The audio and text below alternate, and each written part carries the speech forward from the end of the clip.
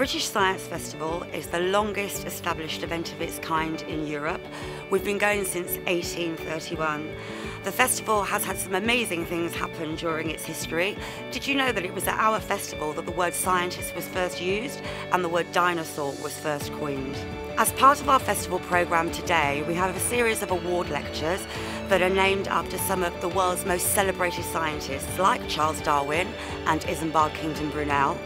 And every year we present an award lecture to an outstanding science communicator. It was the first piece of recognition I suppose I'd got. It was the first award that I'd won for public understanding of science, talking about science in public. And uh, I, I was basically a university researcher at that point, so it was very important. The award lecture programme is really important because it can get new science communicators off the ground. They can sort of start um, doing lectures and um, uh, reaching a wider audience. Uh, when, when you're starting out as a science communicator, that's really important.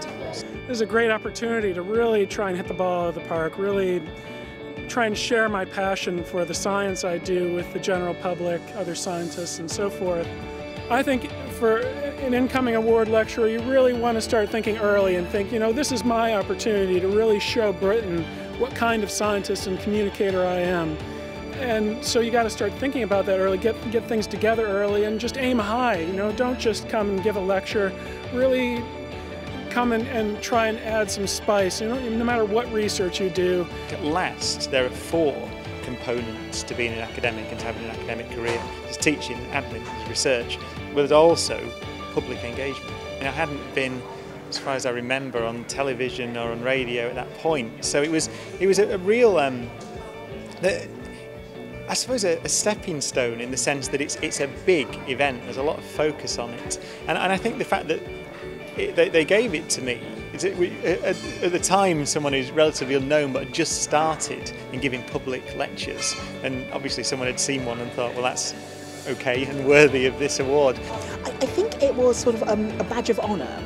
Um, as a science communicator, you need to prove yourself, and winning um, the award made people think, oh yeah, she's probably a good science communicator. So I think in that way, it's got me some more work. The thing about uh, the award lecture is it just increases your visibility. It, uh, it lets new people know that you're out there, you're, what you want to let people know more about the science that you're doing and it connects you with uh, possibilities to go on and do other things beyond the, the festival at which the award lecture actually happens. You have to get, think outside the box and think of ways of communicating ideas with clever metaphors, with exercises, with questions, anything to draw people in and help them learn by doing rather just than just by hearing. The, the best piece of advice I've ever been given, in a sense, is just to be yourself. If you let your own experience and enthusiasm for what you're doing come out, then uh, that's what the audience takes away. I'd say go for it. I mean, it's um, it's a great opportunity, it's a lot of fun, but there's certainly nothing to fear. I mean, it, the, the, audiences are very friendly, nothing like uh, the sort of things you're used to as an academic most of the time. So yeah, it's just a good opportunity to go and have fun. I will absolutely be coming to the festival next year. It's not only a great place to talk about your own science, but also to soak up uh, all the other stuff that's been going on over the course of the year.